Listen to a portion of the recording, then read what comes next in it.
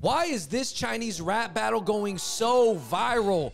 What did everyone say and who said it? Yeah, this is sort of going viral and I guess, the Chinese speaking world or even like the ABC world right now. Long story short, Andrew, there's uh, a bunch of white kids at a boarding school in the UK. There's some Indian kids sprinkled in there as well. And they're having a rap battle in Mandarin, but they're actually just asking each other questions from Chinese 101. David, is this the most viral UK rap battle like this year? Let's run the clip. 就开始，三二一。你爸爸喜欢吃什么？我爸爸喜欢吃米饭。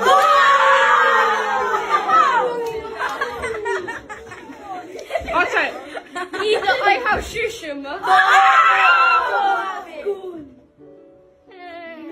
我的爱好是踢足球。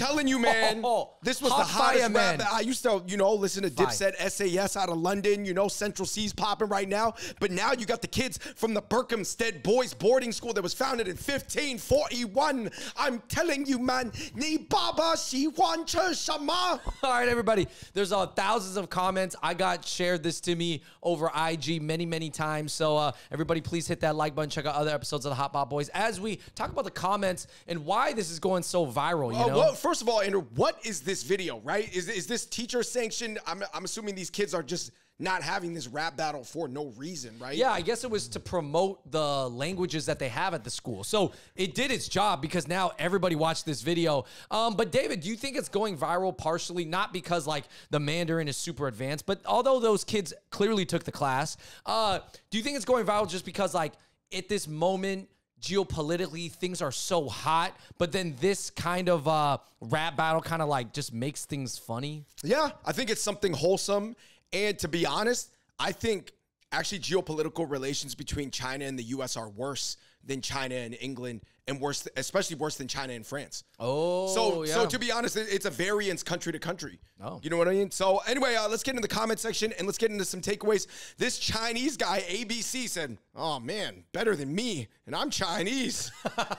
um, what do you think, man? A lot of Chinese kids in the West are really bad at Chinese. It's true. I mean, I think it's a variance. Obviously, some people are in the high, some people are in the middle, some people are in the low, and Ah, uh, sure. yeah, some people are No, watching I this like, damn, these kids. I mean, they're not really rapping, but they are having a roast battle in a rap style. Yeah, yeah, yeah. Obviously, nothing actual negatively negative was said, but I think that if you extrapolate, if these kids are 11 and 12 right now, and they keep taking Chinese for the next four years, you know, even if they're not Chinese and not in a Chinese household, they'll be able to speak it conversationally, like pretty well if they take it seriously. And I think that it just goes to show you how many people are learning Chinese. Obviously, you know, do I think I would beat these kids in a rap battle? I would like to think so. I would hope so. Yeah, I would hope so. Um, I think so, but overall, it is just funny, and it, it's also like funny that they're at a boarding school. They're in their little Yeah, uniforms. it's almost like something that looks so anachronistic and out of time for America, right? Like Yeah. Americans are looking at this like we did away with all this British vestige stuff in like the 1960s or Think whatever. about it. Berkhamsted, founded in 1541. Now you got kids rap battling in Chinese on school campus. Never would I have believed that on the hallowed grounds of Berkhamsted. But you know, things change, things come and go, and we at Berkhamsted will adapt with the changing globe. Um, this Chinese guy said, Yeah, they speak like they are going in for a fight. What is going on? Yeah, well, they definitely captured the rap battle cadence, but they're also not saying anything negative or mean whatsoever. The hardest line in that entire rap battle was like, Ni mama ji sui, which is like, how old is your mom? So I guess that If could be a diss. Yeah, if your mom is exceptionally old, Right. yeah, Every- everything- it could be. You know, rap disses they're contextual to what's true or what's kind of true-ish. Um, I would say this is something that it's funny because it's like.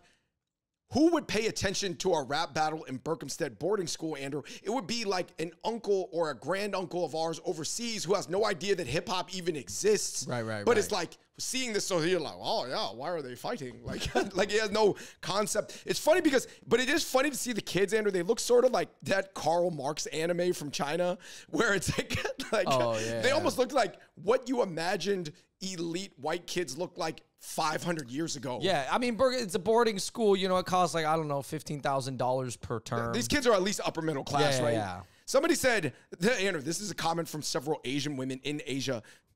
Hey, why are they also good looking la? Oh, but why did they look so fine? Hey man, That's funny. No, they're good looking. I think they good come from good families. Yeah. no, no, and then, you know what I noticed, Andrew? The, the uh, British kids are much thinner than American kids at the Oh, same they probably age. have less obesity. Listen, they're 12 years old. Back off. They, they do look like they went to school, uh, like th- that's the same school that Benedict Cumberbatch came out of. Oh, Honestly, that's it looks like it. Somebody said uh, this was quite funny in a good way. I'm glad they're having fun while learning. Um, somebody said learning a foreign language should be fun just like this. Oh my gosh, this was so wholesome. I love how they're gassing each other up. This is great. Yeah. And I mean, does do does this speak to running counter to the global narrative? Obviously, like now, like we said, West versus China, but particularly it's the U.S. and other other countries, you know, more or less. Like France is is almost trying to be more friendly, you know. I'm not gonna lie. Everything that the British do seems more wholesome than America. America is just not wholesome, but anything that British people do, even the British rap right now, even Central Cee, who is actually part Chinese. I think he's a quarter actually, Yeah. but he, he Uh, hides it because you know I don't know. don't know hopefully, one of these days, Central Cee starts repping his Chinese side. Yeah, but apparently he's part Chinese, and uh, even his raps are not as like crazy as everybody else's. So I, it's just British people right now. It just seems more wholesome. She don't listen to UK rap. Um, somebody said Mandarin is slowly being adopted as the main extra language in school now in the UK, particularly obviously in in only you know more schools that are more forward thinking. Yeah. We need to move with the times. Berkhamsted, you know, we uh, we once ruled the world Yo. before first, but then it was the Dutch, then it was the Americans. Perhaps it is the Chinese. Yo, time. do you think that you know how British are all about like hierarchy, and you know we must like we were the winners for so long that maybe they're like. You know, if we also become great enough at Mandarin and we can speak the language of the Chinese, then we could actually rule the world along with the Chinese. While the Americans are trying to downplay the power, we are going to rise up along with the dragon. that that's an interesting theory. I mean, I definitely think they think different. Yeah. They think different over there. Somebody said, uh, yeah, look at these egg boys. They are the white on the outside and yellow on the inside. Come on, man. He said yeller on the inside. That's pretty funny. Yellow, yeller. Somebody said, I don't know why I find this so funny. Why is this so cute? I mean, if I was just to break down the science of it, it's just something that's sort of like wholesome and shocking to the mind, right? it's shocking but wholesome at the same Is time. it almost like a, a, a kitten and a puppy just like hugging each other or something? Like, Yeah. Yo, this guy said, ah, they're preparing for another opium war. Yo, this made me laugh, man. But here, by the way, here is a blurb on the Opium War. The Opium Wars were two conflicts waged between China and Western powers during the mid 19th century.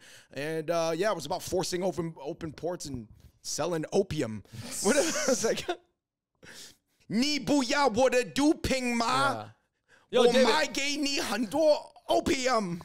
I do think a video of some kids in a Chinese boarding school in China, like trying to rap in English and say goofy things, I think that would also get some views as well. But oh. obviously, the video of the British kids speaking Mandarin gets even more views. But but I'll be honest, I, I've, I've seen some funny rap battles in, in broken English. The funniest ones I've seen from Douyin that got moved over to Instagram on some of the Chinese accounts, Andrew, are the ones where uh, the DJ schools that are trying to teach the single children how Oh, to yeah. be DJs. Put your effing hands up. Dun, dun, dun, dun, dun. Or uh, Mr. English, who's like, "Yeah, bro, what you want to do?" That's how that's how you speak it in English. You know, when he's speaking English to Yeah, yeah, it's not fully. Trust me, if you, if, it's just funny. It just makes you laugh. Somebody said, "Yeah, but the Chinese era has ended. There's no use in learning Chinese anymore because so many of them learn to speak English." What do you, what do you think of this? Because this is something that actually some people do say. Uh, Yeah, this, yeah, yeah. I think a lot of people know that a lot more Chinese people are learning English. So if Chinese people are learning more English, then why do you need to learn Chinese? Well, I still think it's going to get you ahead. I still think it's good for the brain, even if, and I still think, dude, it's not like everybody's going to learn English in the next 20 years. It's going to be a little bit longer than that. But yeah, yeah. But no, Mandarin, no, a tremendous amount of Chinese people will be able to communicate in English yeah. at least to like a four out of ten level. Yeah, yeah, yeah. Um, some comments were in Chinese. This one said "Taman the Fa Ying," just like saying, "Oh, their Fa Ying," which is their pronunciation, is so cute and it's so funny because it uh, it obviously has a, a, a British accent to it, a schoolboy posh accent, as well as they're mm -hmm. speaking Mandarin. And uh, there's another comment that says. 呃，我们在说英语的时候，他们在看我们就是这样。Basically saying, uh, do you think when people see us speak English, they're seeing us this same way?